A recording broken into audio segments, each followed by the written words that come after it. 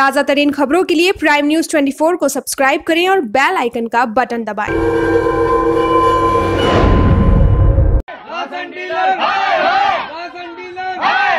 नमस्कार, आप देख रहे हैं प्राइम न्यूज़ 24 मैं हूँ काविंदर सिंह। गरीबों की हक की आवाज़ उठाने पर राशन डीलर ने दिखाई दबंगई।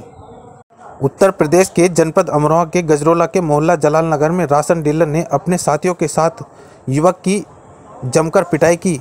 स्थानीय लोगों ने बताया कि उस युवक का कसूर सिर्फ़ इतना था कि उसने गरीबों के हक में लड़ाई लड़ी। आपको बता दें कि दरअसल मामला जनपद अमरोहा के गजरौला के मोहल्ला जलाल नगर का है, जहाँ के निवासी आरिफ पुत्र मेहरबान ने दो दिन पूर्व गरीबों के हक के लिए राशन डीलर अखलाक के खिलाफ आवाज़ उठाई थी, जिस पर गुस्से डीलर ने आज अपने साथियों के साथ मिलकर उस युवक पर हमला कर दिया, जिससे आरिफ के काफ़ी चोटी आई हैं। आई हैं। आरिफ ने इसकी सूचना तत्काल पुलिस को दी, लेकिन पुलिस सूचना देने वाले आरिफ को ही अपने साथ ले गई। आखिर बड़ा सवाल यह भी उठता है कि क्या गरीबों के लिए कोई आवाज़ उठाता है तो उसकी आवाज़ दबंगई दबंगई से दबा दी जाती है? आखिर डीलर के खिलाफ अभी तक कानूनी कार्रवाई क्यों नहीं हुई है? क्या क्या डीलर किसी के संरक्षण में रहकर गरीबों का पेट काट रहा है? प्राइम न्यूज़ 24 के लिए अमरोहा से काविंदर सिंह की रिपोर्ट। पैसे लेवा फालतू पच्चीस रुपए फालतू लेता। किसी का राशन ना दे रहा दो बार हमारे राशन ना पच्चीस तीस रुपए फालतू लेता और गाली देता ना बड़े की इज़्ज़त करा ना छोटे की इज़्ज़त करा। अच्छा। गाली देकर कहता निकलो यहाँ से तुम्हारा राशन वाशन ना तुम्हारा राशन कट।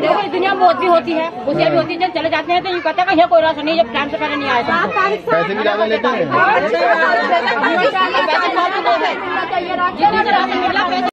आपका वही अच्छा क्या मामला है ये?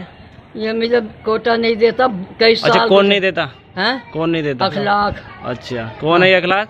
डीलर है। अच्छा डीलर है। तो राशन कितने समय से नहीं दिया आपको? बहुत दिन हो गए कई साल गुजर गए। क्या कहते हैं राशन लेना जाती पहले तो हाँ क्या कहते हैं राशन लेना जाती तो? मनु ही कह देगा तेरा जूठा ही ना आ रहा तेरा फलाना ही ना आ रहा और पहले जब गुट्ठे आमे थे तो जब वैसा ना देवा था। फिर भगा देते हाँ। सोच ऐसा अच्छा आपको भी नहीं मिला नहीं राशन हमें नहीं क्या नाम आपका? रफीक नाम है अच्छा कितने दिन से नहीं मिला? कई महीने से नहीं मिला। क्या कहते हैं लेने जाते तो आप?